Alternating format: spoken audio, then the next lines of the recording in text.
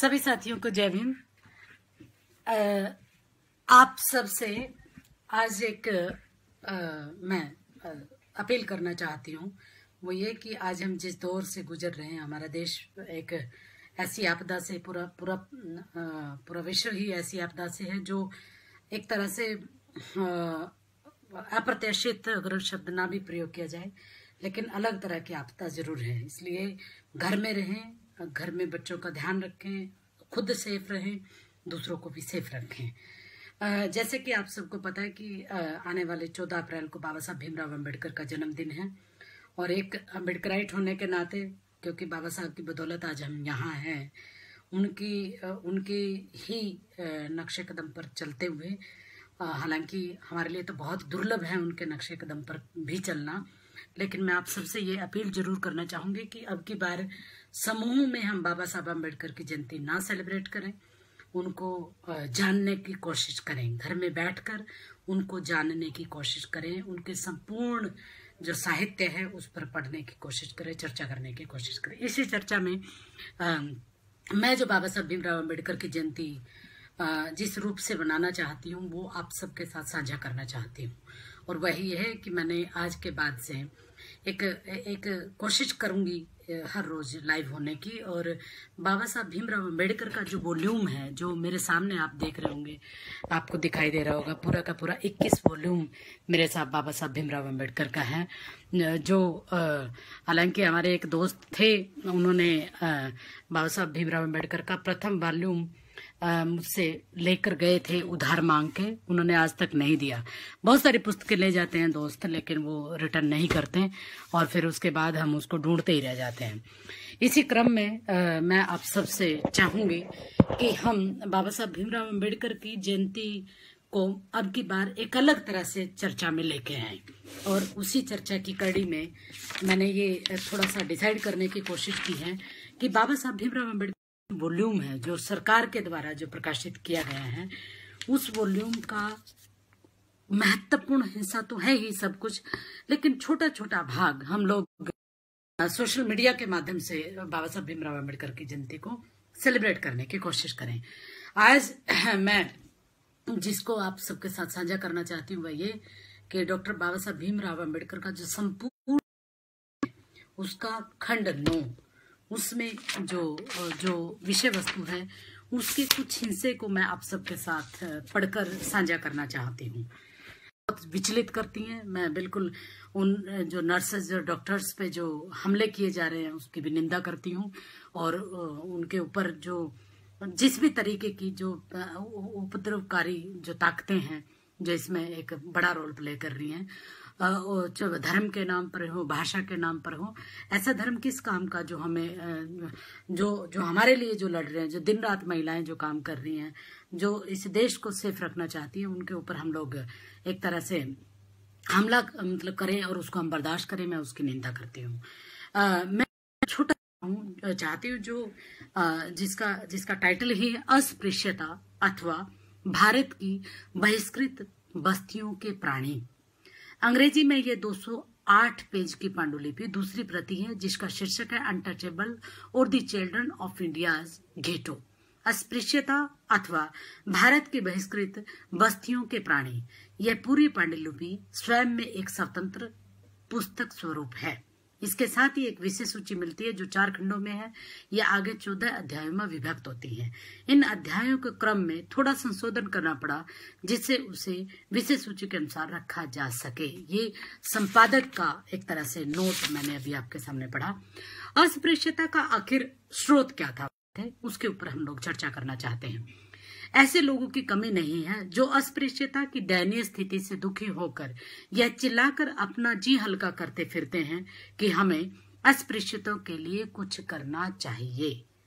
लेकिन इस समस्या को जो लोग हल करना चाहते हैं, उनमें से शायद ही एक ऐसा व्यक्ति हो, जो यह कहता हो कि हमें स्पृश्य हिंदुओं को बदलने के लिए भी कुछ करना चाहिए। बाबा साहब भीमराव अंबेडकर की जो ये लाइन है उसमें मुझे आ, मुझे बहुत इससे इससे बहुत बहुत एक अलग तरह की सोच मिलती है जो मैं जब जब इस लाइन को पढ़ती हूँ। ये जो धारणा कि हमें अपने हमें मतलब स्पृश्य तो अस्पृश्य व्यक्ति के लिए कुछ करना चाहिए लेकिन जो स्पृश्य हैं उनको भी बदलने की निहायत ज़रूरत है। यह धारणा बनी कि अगर अस्पृश्यता के प्रति किया जाना है। अगर अस्पृश्य को सुधार दिया जाए, तब अस्पृश्यता की भावना मिट जाएगी। सवर्णों के बारे में कुछ भी नहीं किया जाना है। उनकी भावनाएँ आचार विचार और आदर्श उच्च हैं। वे पूर्ण हैं, उनमें कहीं भी कोई खोट नहीं है। यह धारणा ये उचित नहीं है। यह धारणा उचित हो या अनुचित, लेकिन हिंदू इसमें कोई परिवर्तन नहीं चाहते। उन्हें इस धारणा का सबसे बड़ा लाभ यह मिलता है कि वे इस बात से आश्वस्त हैं कि वे अस्पृश्यों की समस्या के लिए बिल्कुल भी उत्तरदायी नहीं हैं। यह मनोवृत्ति कितनी स्वभाव अनुरूप है, मानते कि यहूदियों की समस्या असल में ईसाइयों की समस्या है इस विषय पर लुइस गोल्डिंग की टिप्पणी स्थिति को और अधिक स्पष्ट करती है यहूदियों की समस्या असलियत में किस तरह ईसाइयों की समस्या है, इसे बताते हुए वे कहते हैं, जिस अर्थ में मैं अहिद यहूदियों की समस्या को में ईसाई समस्या समझता हूँ, उसको स्पष्ट करने के लिए बहुत ही सीधी सी मिसाल देता हूँ। मेरे ध्यान में मिश्रित जाति का एक आयरिश शिकारी शिकारी कुत्ता आ रहा है। इसे मैं बहुत दिनों से देखता आया हूँ। यह मेरे दोस्त जॉन स्मिथ का कुत्ता है, नाम है पैडी। वह इसे बेहद प्यार करते हैं। पेडी को जाति का कोई कुत्ता उसके आसपास 20 गज दूर से भी नहीं निकल सकता और कोई देख भी जाता है, दिख भी जाता है तो वैसे भोंक यह बात जॉन स्मिथ को बेहद बुरी लगती है और वह उसे चुप करने का हर प्रयत्न भी करते हैं, क्योंकि पैडी जिन कुत्तों से नफरत करता है, वे बेचारे चुपचाप रहते हैं और कभी भी पहल नहीं करते। मेरा दोस्त हालाँकि पैडी को बहुत प्यार करता है तो भी वह यह सोचता है जैसा कि मैं भी सोचता हूँ कि पैडी की यह आदत बहुत कुछ उसके किसी जाति विशेष होने पर उसके स्वभाव के कारण है। उसमें किसी ने यह नहीं कहा कि यह जो समस्या यहाँ जो समस्या है, वह स्कॉच कारी कुत्ते की समस्या है। और जब पैडी अपने पास के किसी कुत्ते पर झपटता है तो बेचारा टट्टी पेशा वगैरह के लिए ज़मीन सूंग सांग रहा होता है। तब उसके कुत्ते को क्या इसलिए मारना पीटना चाहिए कि वह अपने अस्तित्व के लिए पैडी को हमला करने के लिए उकसा देते हैं। हम देखते हैं कि यहूदी समस्या और अस्पृश्यों की समस्या एक जैसी है। स्कोट शिकारी कुत्ते के लिए जैसा पैडी है, यहूदियों के लिए वैसा कोई ईसाई है। और वैसा ही अस्पृश्यों के लिए कोई यहूदी और ईसाई अपनी प्रजाति के एक दूसरे के शत्रु होने के कारण एक दूसरी प्रजाति, ईसाई प्रजाति के विरुद्ध है। हिंदू और अस्पृश्य इस प्रकार के शत्रुता के कारण एक दूसरे से अलग नहीं है। उनकी एक ही प्रजाति है और उनके एक जैसे रीति रिवाज दूसरी बात यह है कि यहूदियों, ईसाइयों से अलग अलग रहना चाहते हैं। इन दो तथ्यों में से पहले तथ्य अर्थात यहूदियों और ईसाइयों में वैर भाव का आधार, यहूदियों को अपनी प्रजाति के प्रति कट्टर भावना है और दूसरा तथ्य ऐतिहासिक तथ्यों पर आधारित लगता है। प्राचीन काल में ईसाइयों ने लेकिन यहूदियों ने इसका सदा प्रतिरोध किया। इस संबंध में दो घटनाएँ उल्लेखनीय हैं। पहली घटना नेपोलियन के शासनकाल की है। दूसरी घटना तब की है जब पटाविया गणराज्य की स्थापना सत्रह में हुई थी। ईसाइयों के स्पष्टीकरण का चाहे जो भी अर्थ समझा जाए, इतना तो स्पष्ट है कि उन्हें कम से कम इस बात का तो एहसास रहा कि उनका यह प्रमाणित करना एक दायित्व कि यहूदियों के प्रति उनका व्यवहार गैर मानवीय नहीं रहा है। परंतु हिंदुओं ने अस्पृश्यता के साथ अपने व्यवहार के औचित्य को प्रमाणित करने की बात तो कभी सोची भी नहीं।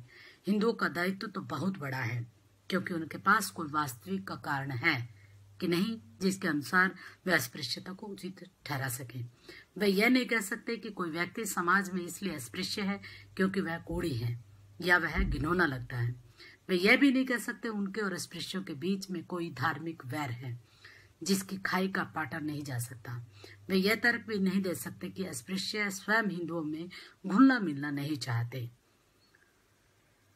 लेकिन अस्पृश्य के संबंध में ऐसी बात नहीं है। वे अर्थ में अनादि हैं और शेष में विभक्त हैं, लेकिन यह पृथकता उनका पृथकवास उनकी इच्छा का परिणाम नहीं है। उनको इसलिए दंडित नहीं किया जाता कि वे घुलना मिलना नहीं चाहते। उन्हें इसलिए दंडित किया जाता है कि वे हिंदुओं में घुल मिलकर मिल जाना चाहते हैं। दूसरे शब्दों में हम कह सकते हैं कि हालाँकि हिंदुओं और स्पृश्यों की समस्या एक जैसी है, लेकिन यह समस्या दूसरों की पैदा की हुई है। जो भी, वह मूलतः भिन्न है। यहूदी की समस्या स्वेच्छा से अलग रहने की है। अस्पृश्यतों की समस्या यह है कि उन्हें अनिवार्य रूप से अलग कर दिया गया है। अस्पृश्यता एक मजबूरी है पसंद नहीं।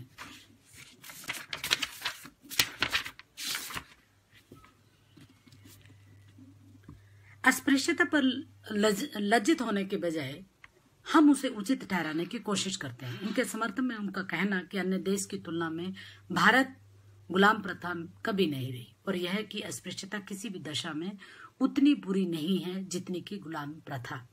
ऐसा ही तर्क स्वर्गीय लाला लाजपत राय जैसे महान व्यक्ति ने अनहैप्पी इंडिया नामक पुस्तक में दिया है। इस कथन का खंडन करने के लिए समय का अपव्य करने प्रथा से बुरी हो ही नहीं सकती। इस तर्क का उत्तर तो यह है कि यह कहना सरासर झूठ बोलना है कि गुलाम प्रथा कभी थी ही नहीं। यह तो एक अति प्राचीन प्रथा है। इसे हिंदुओं के विधि निर्माता ने मान्यता प्रदान की और उनका अनुकरण करने वाले अन्य अन्य ने इसे व्यापक बनाया और व्यवस्थित रूप दिया। गुलाम प्रथा केवल एक प्राचीन प्रथा के रूप में नहीं थी, जो केवल धुंधले प्रतीत से प्रचलित रही हो, बल्कि यह तो एक ऐसी संस्था थी, भारत के इतिहास में 1843 तक प्रचलित रही और अगर अंग्रेज़ी सरकार इसे उस वर्ष कानून बनाकर समाप्त न कर देती तो वो शायद आज भी प्रचलित होती। आप सबने, बाबा साहब भीमराव अंबेडकर के संपूर्ण वांग्मय को सुना।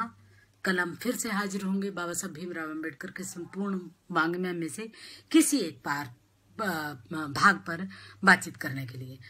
हम एक ऐसी चौदह अप्रैल तक एक ऐसी सीरीज़ बनाना चाहते हैं, जिसमें बाबा साहब भीमराव अंबेडकर का जो संपूर्ण वांग्मय है, जिसको अभी तक उस तरीके से नहीं समझा गया जो समझा जाना चाहिए। हमने बाबा साहब भीमराव अंबेडकर को जयंतियों के रूप में उनको एक आदर्श के रूप में मनाना तो शुरू किया लेकिन अभी भी जानना बाकी है। कम से कम मेरे लिए तो अभी जानना बाकी है। जितना जैसे जैसे बाबा साहब भीमराव अंबेडकर के बोले को पढ़ते हैं तो हमें बहुत सारी ऐसी जानकारियाँ मिलती हैं जो अभी तक हमारे आ, हमारे सामने आगे नहीं आ पाई। हमें मानने से ज़्यादा जानने की ज़रूरत है।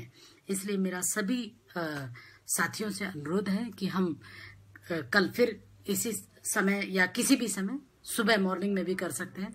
क्योंकि कल की भी छुट्टी है ऑनलाइन हमारी क्लासेस नहीं होंगी।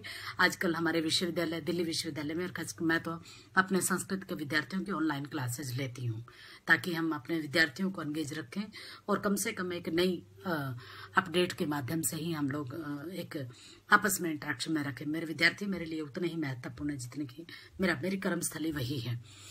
इसलिए कल हम फिर हाजिर होंगे बाबा साहब भीमराव अंबेडकर के संपूर्ण वांग्मय में। अगर आप ऐसी कोई योजना लेकर आते हैं या बाबा साहब भीमराव अंबेडकर के ऊपर ऐसी कोई चर्चा करते हैं तो मैं आप सबके साथ बाबा साहब भीमराव अंबेडकर की जयंती तक और उसके बाद भी हम इसको, इसके ऊपर चर्चा कर सकते हैं। क्योंकि मैं चाहती हूँ कि हमारा जो दूर दराज में बैठे हुए जो लोग हैं, जो सोशल मीडिया में बैठे हुए लोग हैं, वो बाबा साहब भीमराव अंबेडकर के संपूर्ण वांग्मय को पढ़ें, जो हमारे जो जो नहीं पढ़ सकते, वो वीडियोस के माध्यम से दूर दूर तक जो बैठे हुए लोग हैं, वो कम से कम सुने। बाबा साहब भीमराव अंबेडकर के वॉल्यूम को। एक बहुत बहुत अच्छी अच्छी जानकारी आपको मिलेगी। मुझे लगता है बाबा साहब अंबेडकर की जयंती को सेलिब्रेट करने का इससे, हो सकता है इससे बड़ा हो, लेकिन मेरी नज़र में मुझे लगता है साहित्य पर अगर हम चर्चा करेंगे तो बहुत निश्चित रूप से लाभदायक होगा। आप घर में रहिए, सुरक्षित रहिए, अपना ध्यान रखिए, अपनों का ध्यान रखिए। सबसे पहले हमारी अपने प्रति ज़िम्मेदारी है। जब हम अपने आप को सुरक्षित महसूस करेंगे या दूसरे को हम जब सुरक्षित महसूस करवाएँगे, यही हमारे भारत की, हमारे राष्ट्र की खूबसूरती है। इस खूबसूरती को बनाए रखिए। हमें अपने आगे बढ़ाना है। इस आपदा का मिलकर सामना करना है। एंजॉय कीजिए घर में रहिए सुरक्षित रहिए। जय भीम जय भारत।